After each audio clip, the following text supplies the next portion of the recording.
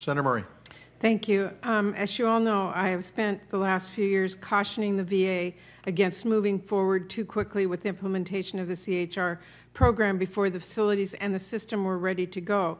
A year ago, we held a hearing about the EHR program with Secretary McDonough where I raised those concerns. And in the 12 months since then, I have heard even more concerns from the staff on the ground in Spokane about how this faulty system is making their jobs unacceptably difficult. Now we have some more Inspector General reports substantiating many of their concerns, and equally disturbing has been VA's lack of transparency and cooperation with the IG.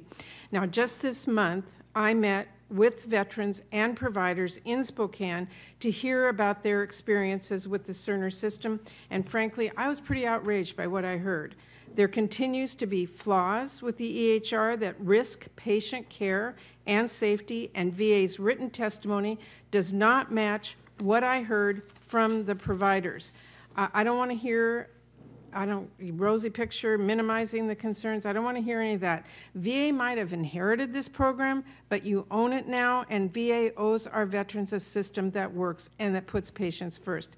And I've said it before, VA cannot roll out this system anywhere else in Washington State until the issues with this system are resolved and the Inspector General's recommendations are implemented by the VA and, and closed by the Inspector General. And the focus right now has to be fixing this uh, in Spokane. Now, I want to ask you, uh, Dr. Adirim, you answered in regards to someone else's question, question a few minutes ago about how many outages there had been, and you said 24 outages and 48 performance degradation or um, Secretary Del Um, well, Spokesman Review put it, printed an article just now, just yesterday, that uh, they have a document that suggests those numbers underestimate the true frequency of disruptions in the system. The document they say they have includes more than 180 incidents classified as degradations, downtime, and full or partial outages that have affected the system's users just since September 2021. Do you know why that might be? Dr. Adirim? I really don't know what document you're talking about. Um, we, we have ways of uh, determining what are degradations and outages um, directly, so I really can't explain um, that document that I haven't seen. Well, I'm happy to see if we can get that for you, but there appears to be a huge discrepancy between what the VA is publicly saying and how many are reported. So we need an answer back to that. Sure. Um, I also want to say, you know, I, have been really concerned about the EHR's impacts on patient safety, including the well-documented instance of veterans getting the wrong medication or having their medication stopped. Now we have a report from the Inspector General on another example of patient safety risk, this unknown queue. Uh, the IGA, IG has documented that despite having received evidence of patient harm as early as December 2021, the program executive director told the House Veterans Affairs Committee in April 22 she didn't believe there was evidence the system had harmed patients or that it will going forward. Now, as I just said, I talked to veterans who have suffered serious harm. I've talked to them personally as a result of the EHR failures. I've talked to providers personally who are doing double the work to make sure they meet their patients' needs while navigating this system. I continue to insist that facilities like Spokane keep their overhires to manage this workload. So, Dr. Cox, is it responsible for VA to continue rolling out this program with its existing flaws and its inadequate workarounds when there have clearly been instances of patient harm and when monitoring patient safety reports could become unsustainable.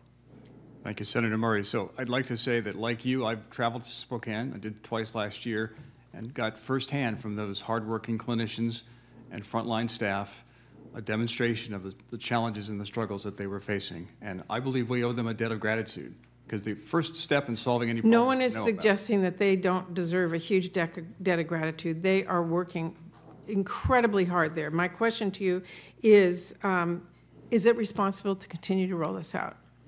I believe that because of the dedication and the vigilance of those clinicians at Spokane who reported issues and raised them to our attention so that we could begin to work on them and mitigate them and ultimately provide permanent solutions to them, that it- we have been able to anticipate where we need to put additional safeguards in place to reduce the risk at Walla Walla, at Columbus, and at the two sites in Oregon that have gone live since then.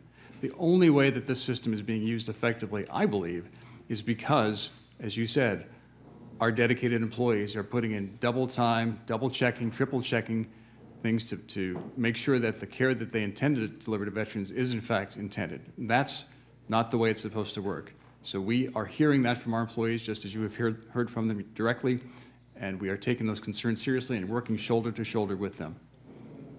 But you, you believe that the system should continue to be rolled out? I believe that we've taken sufficient steps to build additional safeguards, knowing where the vulnerabilities are, based on the experience at Spokane, to reduce the risk of additional harm or to reduce the likelihood of uh, similar problems occurring at other sites. Okay, I am way over my time, Mr. Chairman, thank you, but I do want to answer back on the number of outages.